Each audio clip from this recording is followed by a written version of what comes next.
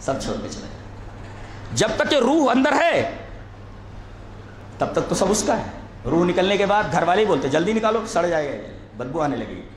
वो कमरा जिसको पता नहीं किन किन जावियों से और किन किन मेहनतों से बनाया था, उस कमरे से कहा जा रहा है, इसको निकाल, फाड़ को सड़ जाएगा गंदा हो जाएगा, कमरा गंदा हो जाएगा, निकालो इसको। ये है हमारी